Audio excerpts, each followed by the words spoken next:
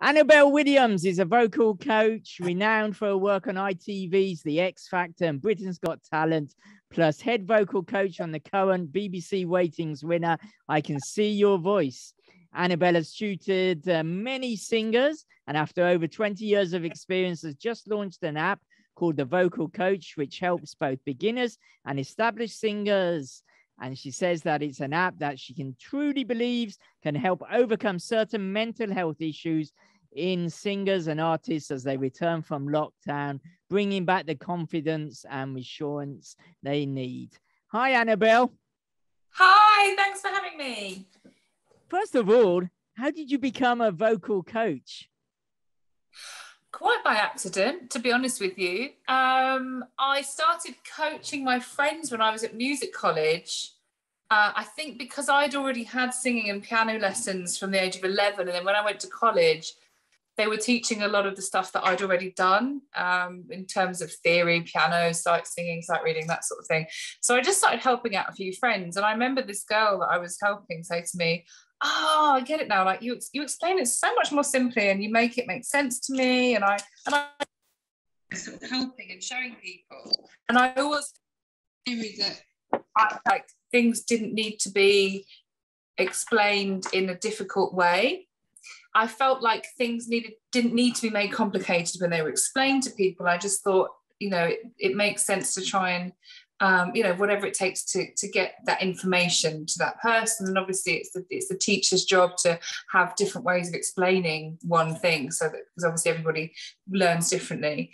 And um, yeah, I just really enjoyed it, and I and I kind of started teaching my my friends in, in college, and I actually started covering teachers at college in the years below me um, and then, and I was running a jazz workshop um, for the National Youth Jazz Orchestra, and I just kind of fell into it that way, really. And alongside my career as being a singer and a backing singer and vocal arranger, it was just always there, and I always loved it, and I really, really get a lot out of it. So, yeah, it happened by accident, but it's something I've done for 21, 22 years now, and absolutely love it.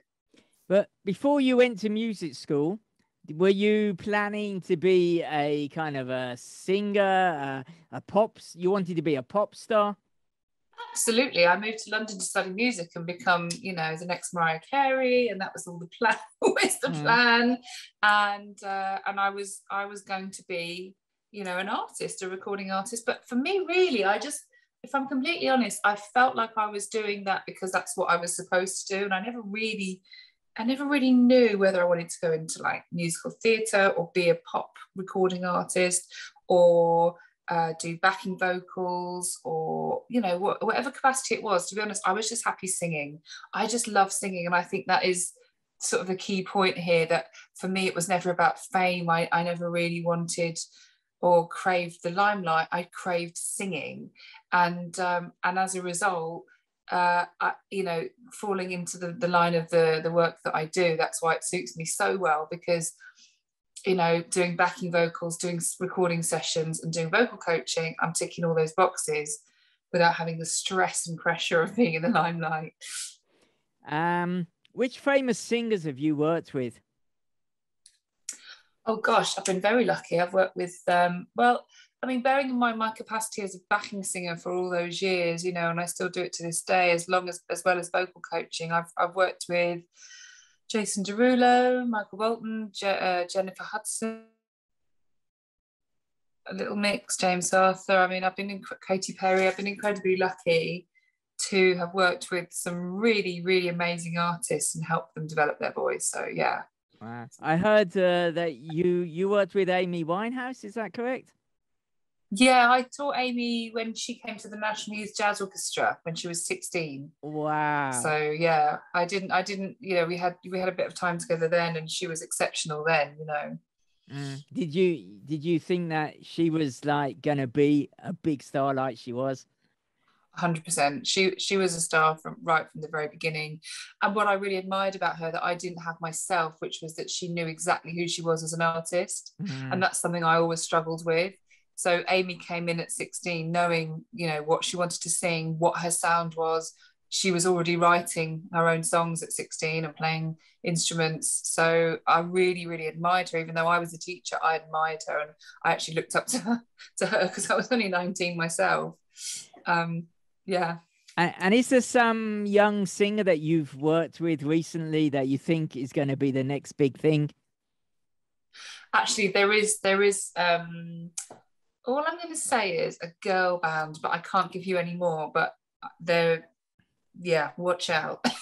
Okay. There's a new girl band in town, but I can't. I'm working with them at the moment. They're amazing, but uh, and there is there is another young artist, um, which is on the horizon, which unfortunately I can't give the name of. But yeah, there there are some really amazing, amazing new artists, and I think what I'm loving about what, what I've found about these artists that I'm working with at the moment is that they're so hardworking, and it's you know you really don't become a pop star overnight. You know it's in, in terms of being a pop star for want of a better term and longevity and sticking around you know those who do stick around is what i mean really. It, you know it doesn't happen overnight. They know who they are and what uh, you know what they want to write about and they learn and they work hard and they work on improving themselves. And that's what's really evident to me is that these kids that I'm working with at the moment, I say kids, I mean they're in their 20s, but you know what I mean, mm.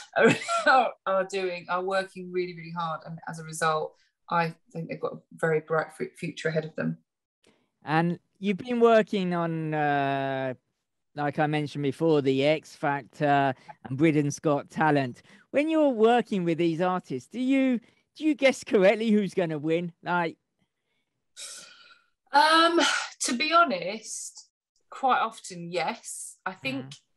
on these shows, you know, I mean, it's not just me. Like, I think anybody can spot a star. Like, you always know the person that stick. It's the person that stands out. It's the person that moves you the most. You know, I would say the, the, the, the perfect vocal is the imperfect vocal. So, for those who are listening, like, don't ever feel like you have to have the biggest range in the world or sing the highest. It's not about that. It's about how your voice and how your music make people feel. So you can have a really small range, you can have a really quiet, tiny voice, and it can be the you can be the, the best artist in the room because it's about how you connect your lyric. It's about how you, as a result, then connect to your audience, how you make your audience feel, and that's so important. So I think yes, you can always spot the one who is going to do the work the best, but um, it's certainly not about who can sing the highest or the loudest. And what advice would you give uh, the teens that are listening now that would like to get into the music business and be singers and pop stars? What advice would you give to them? Well, I think, you know, first of all, exactly what I just said, you know, don't feel like you have to to sing a certain way to succeed. You know, if you sing differently to everybody else and you and you see that as possibly not a good thing, then please, please know that it's a good thing. If you're different, it's good. If you sound different to everybody else, it's good because it makes you distinctible. It make distinctive rather. It makes you stand out. And um, and I would say there is a place for everybody. So you know there's no reason why you can't have a career as a singer if you work hard for it you know it's not something that you should just think oh i decided i want to be a singer today you know one thing that used to irk me a little bit on shows like x factor is that when people say well, you know, and they come off crying their eyes like, this is my dream, this is my dream, this is what I want my whole life. And then I say, have you ever had, ever had a singing lesson? Nope. you know, so it's like get get some training. If you re- if this really is your dream, if this really is what you want, learn an instrument, get some some proper singing lessons. You know, if money's an issue, for example, I have my app that you can download. It's super cheap and it's it's a great starting point if you don't know um, where to start because I do I, I have this app the vocal coach that I made in lockdown and it has a great sort of introduction for those who are beginners. I mean it's really designed for existing singers as well so it doesn't matter what you know there's something for every level on there but if you kind of don't know where to start um, it's it's got videos uh, you know you can go to the easy exercises. They're all marked easy medium and hard. You can you can go to the easy exercises and just watch. I, ha- I have videos of me explaining how to do these exercises and then you just do them every day. It's basically like having me there as a vocal coach with you um, and and just to ensure that you're doing it properly just keep going back and watching the videos. But so i think yeah training not comparing yourself to anyone else is my absolute golden rule. Do not compare yourself to anyone else. You are everybody is unique. You are unique. You are special. That's what makes you so wonderfully different from everybody else. And you must see that as a positive. And finally, just go to open mic nights, you know, go to London, be seen, be heard, and um, just uh, it's a really the, the, social networking side of it is a really important aspect of it. So you know or get yourself videos online if you don't live in london or that sort of thing or if you're younger um, you know doing putting yourself out there on youtube and instagram and things like that are really helpful as well. It worked for Jessie J. You mentioned uh, you mentioned your app. Um, and I mean, I, I haven't yet downloaded it, and you've just explained what it is. I thought how can you learn to sing through an app? And you're saying, so basically you're there, yeah, and you're they're just watching videos and there's all exercises on it. Yeah, I mean, you're right. Okay, it's a great question. How can you learn to sing in an app? Well, basically, I've recorded I made a series of exercises while working on shows like Britain's Got Talent and X Factor that I that I invented myself. I created these exercises myself because these were tools that I a kind of methodology, if you like, that I created while working on these shows. And I just thought, wouldn't it be amazing? Because I, whenever I have my private clients or one-on-one, you know, one-on-ones that I have with artists and private clients, you know, there are these sort of instant result techniques and tools and tips and things, and also long-term things that you go away and work on to develop your voice or whatever it is that you want to work on whether it's your you know it might be your range or you might have a really obvious break or you want to work on your agility for riffing and that sort of thing. And i just thought i get asked these questions time and time again. Why not first of all i made them into really fun exercises. So a lot of the time for me i found as a singer there weren't really any inspiring uh, warm up exercises out there. So I've rather than it just be to a boring piano, I've made these exercises that are really funky. They've got like backing vocals on, and they sound like they sound like pop songs. You know, they sound like a Bruno Mars album. That was the kind of brief that I gave my producer. I want to make an album of warm ups that sound like a Bruno Mars album. So um, they're really fun to do. And then I just thought, well, I'm going to put a little video with each one just so it has exactly as, the, as I would do in my lessons. I would you know f- film myself and send it to you of me how of me doing the exercises and how to execute them properly and how to get the most out of them how to make sure you're doing them safely and how to get the quickest results. And then it's just all in the app. Wow. it's super simple. And then i've also put things like vocal health. There's a nice easy list of what to eat what not to eat. For me i don't like things to be complicated. I like just to be everything in black and white and just told me this is what to eat. This is what not to eat. This is what exercise to do you know, if you want to include, if you want to improve your agility and do riffs, you go to the riff exercise. If you want to go to the breathe, if you want to improve your breathing, you go straight to the breathing exercise. You know, they're not trick names; they're called riff exercise mm. and breathing exercise. You know, and agility and head voice exercise and things like that. So um, it's really, really simple. Exactly what I would have wanted growing up and learning and training. And how does the app help uh, with mental issues?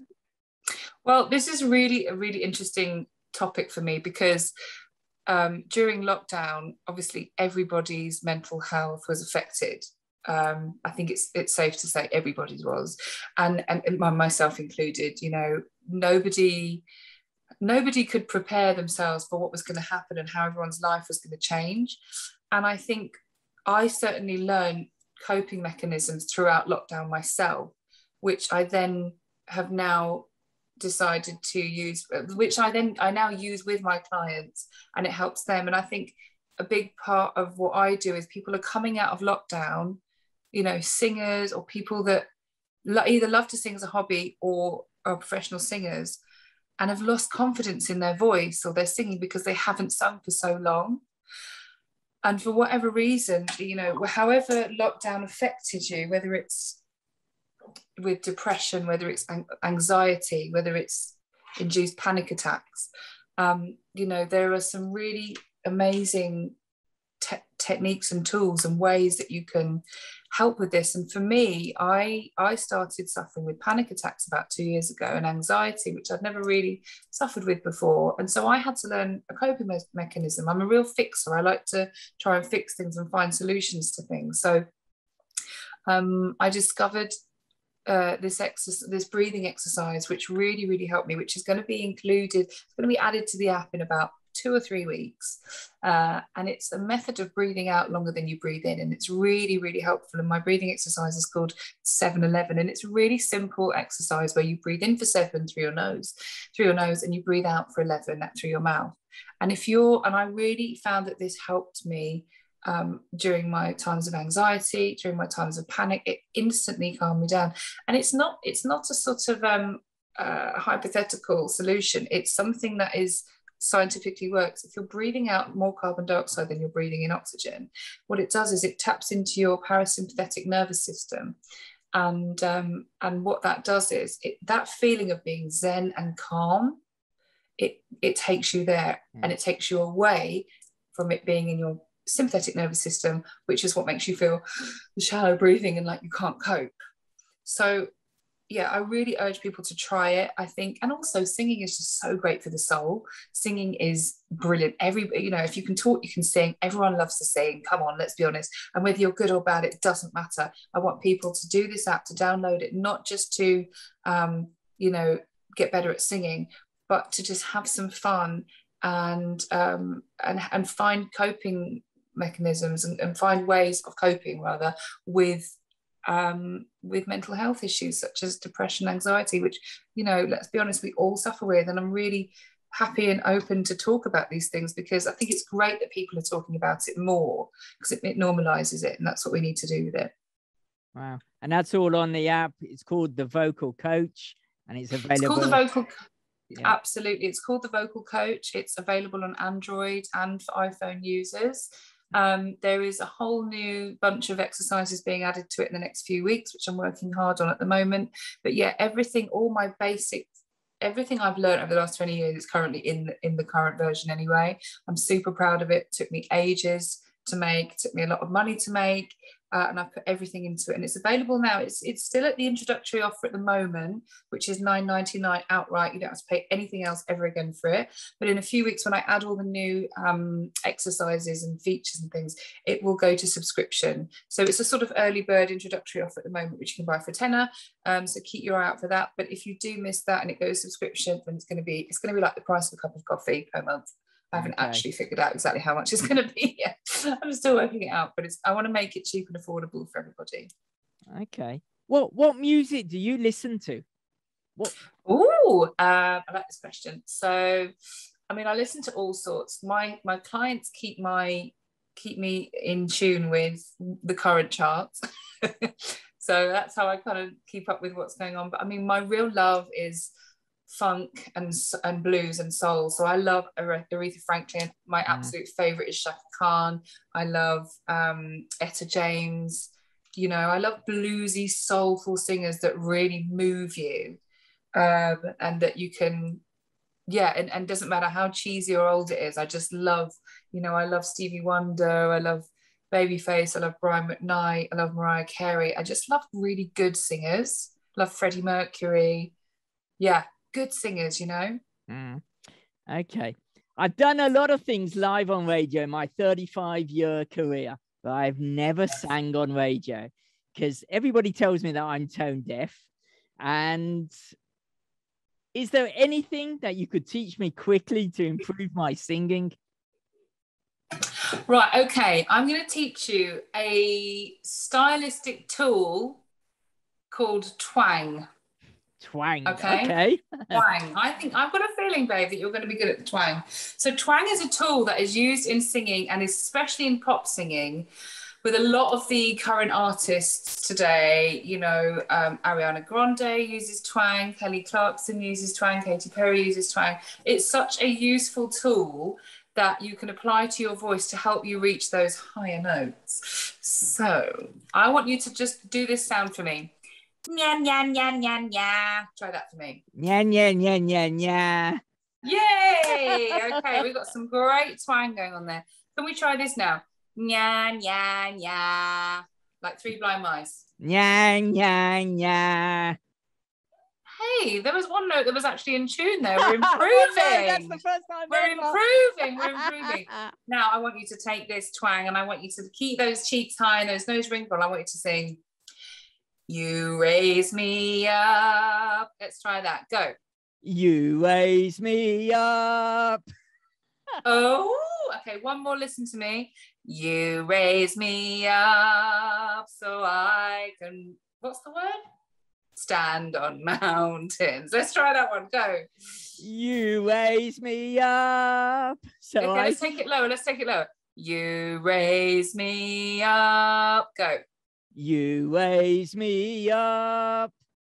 Oh my gosh, we're getting back more in tune now. So, so good. And then what you would do is, yeah, but that's not bad at all. And I think what's great about it, honestly, I know you kind of like laugh and say you're tone deaf and you can't sing, but honestly, it's so much fun. It's so It much is. fun learning. And I think what people would need to remember is like, it doesn't matter if you get it wrong. It really doesn't. I Mm. just want people to just enjoy learning to sing, enjoy trying these exercises because, you know, we're not saving lives here. You've got nothing to lose. And if you have a fun 10 minutes or half an hour doing it, amazing. You, that's brilliant. And you definitely will have learned something. You definitely will have improved. And I think if you can do those, you know, five minutes every day, you're definitely going to improve.